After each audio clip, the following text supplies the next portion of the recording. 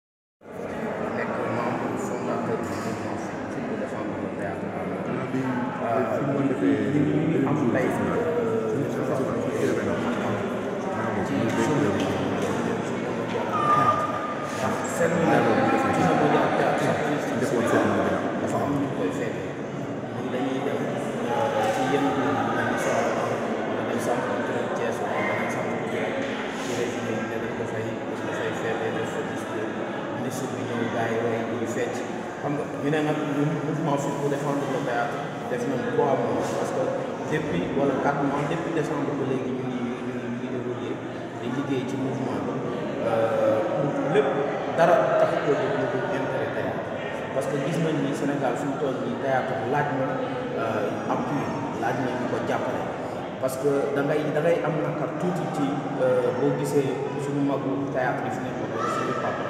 bu ñu génnee àdduna wala ñu feebar ñu leen di yalwaane di leen kettal pour ñu mën a faju loolu ñu ne dëgg fa yàlla dafa war a jeex fii ci Sénégal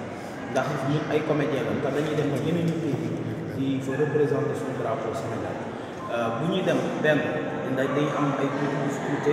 des fois ministère jàpp ci des fois ñu mën cee jàpp ñu am billet d'avion mais malgré dinañ def ay sacrifice ba dem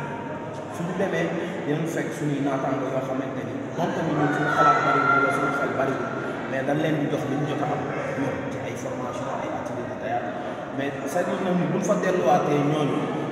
ñoo lay woon naan la kaay ma yóbbaal la sama oto wala dina may xaalis lan moo ko waral parce que ñoom seen dëkk métier bi bu fay def liggéey bu baax a baax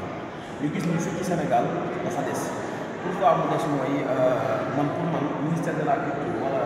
président de la république dafa war a tuddee njaaxaan ndax njaaxaan naay mooy ñu yamale ñëpp yamale koom culture bi yëpp euh, boo gisee fonds yi nga xamante ni jot na génn comme ni ko sama naataango yi waxee euh, gis nañu fonds yi fi jot a génn muy cinéma